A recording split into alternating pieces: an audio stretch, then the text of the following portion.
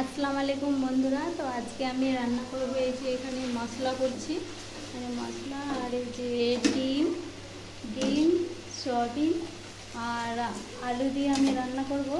তো তোমরা প্লিজ ভিডিওটা দেখতে থাকো স্কিপ না করে তো আজকে আমি রান্না করছি এখানে দিয়ে দেবো এখন আমি এই সয়াবিনটা সয়াবিন দিয়ে দিলাম তার সাথে একটু জল দিয়ে দিতে হবে। মশলা করা জলটা ছিল, এটাই আমি দিয়ে দিলাম।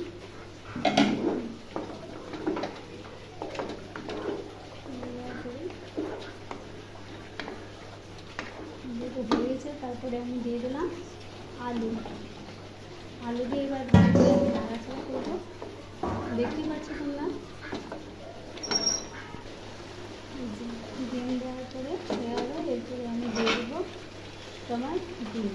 কড়াইতে ছিল দিলাম। নাড়াচাড়া